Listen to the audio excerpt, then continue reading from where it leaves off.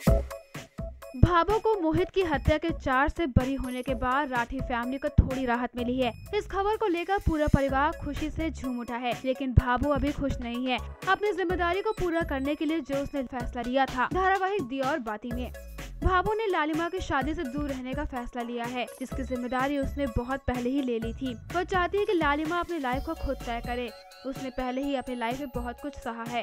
अब आगे देखते हैं कि लंबे समय चलने वाले इस धारावाहिक में क्या होता है।